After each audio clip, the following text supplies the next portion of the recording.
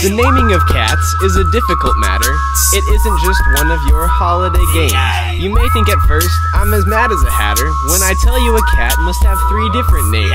First of all, there's a name that the family used daily, such as Peter, Augustus, Alonzo, or James, such as Victor or Jonathan, George or Bill Bailey, all of them sensible, everyday names. There are fancier names, if you think they sound sweeter, some for the gentlemen, some for the dames, such as Plato, Admetus, Electra, Demeter, but all of them sensible, everyday names.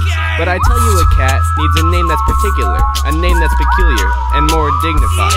Else how can he keep up his tail perpendicular, or spread out his whiskers, or cherish his pride? Of names of this kind, I can give you a quorum, such as Munkustrap, Quaxo, or Coricopat, such as Bombalurina, or else Jelly Lorem, names that never belong to more than one cat.